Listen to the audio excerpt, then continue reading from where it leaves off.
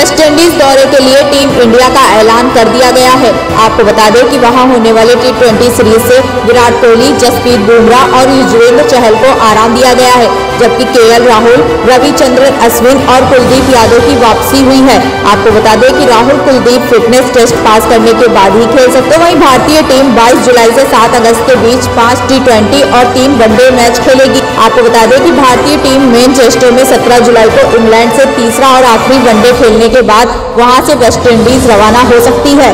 West Indies दौरे पर one day series का पहला मुकाबला 22 जुलाई को पोर्ट ऑफ़ स्पेन में खेला जाएगा। ब्यूरो रिपोर्ट आई